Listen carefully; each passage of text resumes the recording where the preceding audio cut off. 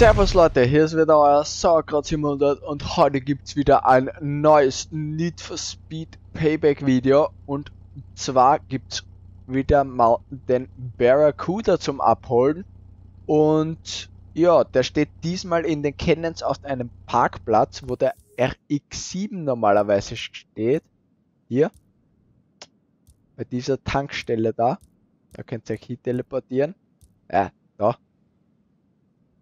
Und ja, dann steht das Auto gleich da. Die Klasse hat sich auch geändert. Und ja, schauen wir,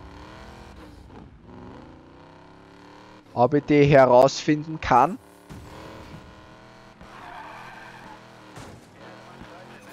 Ich glaube fast, dass er Drift ist. Ja, es ist ein Drift. Ich glaube, es ist ein Drift-Auto. Wenn nicht, wobei, es wird ja sowieso in den Kommentaren lesen.